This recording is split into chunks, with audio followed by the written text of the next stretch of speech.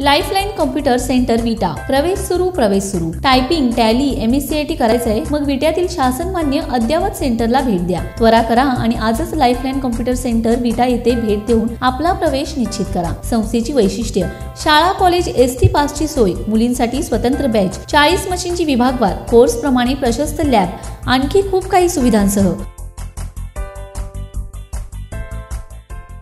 पलूस तालुक्यातील किराणा व्यापारी आणि भाजीपाला विक्रेते यांची बैठक तहसीलदार राजेंद्र पोळ यांनी तहसील कार्यालयात बोलावली होती. या बैठकीत त्यांनी जीवनावश्यक वस्तूची उपलब्धता किती आहे किराणा व्यापाऱ्यांना सांगलीतून होलसेल व्यापारी मालाचा पुरवठा करतात का याची माहिती घेतली. काही व्यापाऱ्यांनी मूग डाळ सांगली मार्केटला संपली आहे असं सांगितले. तहसीलदार राजेंद्र पोळ म्हणाले मालाची उपलब्धता करून देण्यास मदत करण्यात येईल.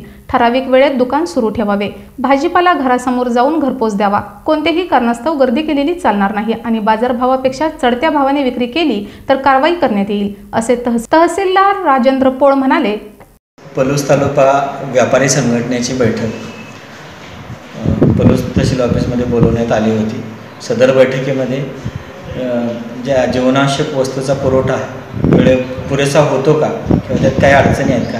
या संदर्भातला आढावा घेण्यात आला. त्याचबरोबर लोकांना घरोघरी धान्य पोचवताना किराणा माल पोचवताना काय अडचण येते का?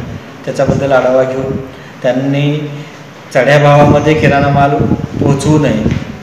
पोहोचले तर त्यांच्यावर कारवाई करण्यात येईल अशी त्यांना सूचना देण्यात आली. Shivkumar Kharkande seven star news Palus.